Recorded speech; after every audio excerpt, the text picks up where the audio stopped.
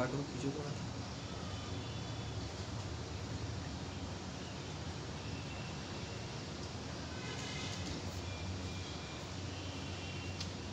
दिखाई देगी कान वान भी दो खड़ा कर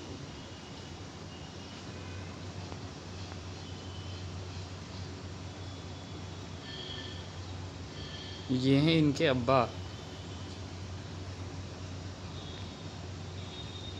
जिनको सिर्फ़ एक ही काम आता है ये खुजवाना।